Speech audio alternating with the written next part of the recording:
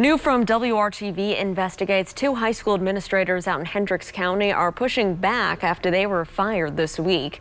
The Northwest Hendricks School Board voted on Wednesday to fire husband and wife Stacy and Nathan Begle. Stacy was the dean of students at Tri-West High School while Nathan was the school's athletic director.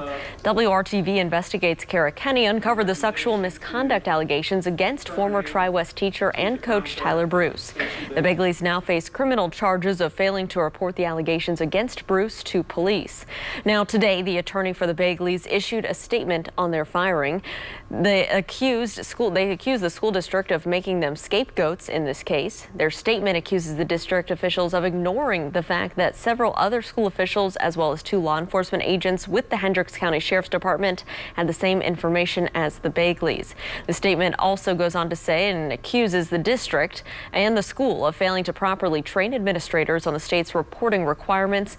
You can read their full statement to WRTV Investigates right now. It's inside this story. Just go to WRTV.com.